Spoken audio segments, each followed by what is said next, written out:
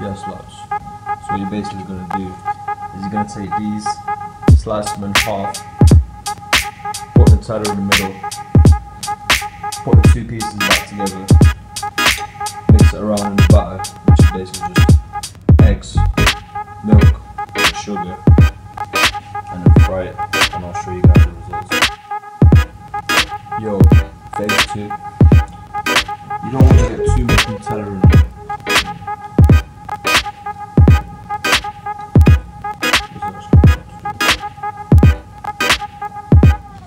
Um,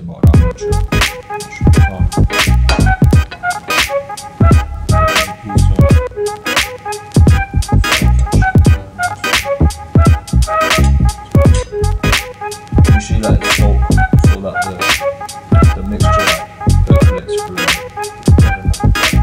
Not even like cake. Good.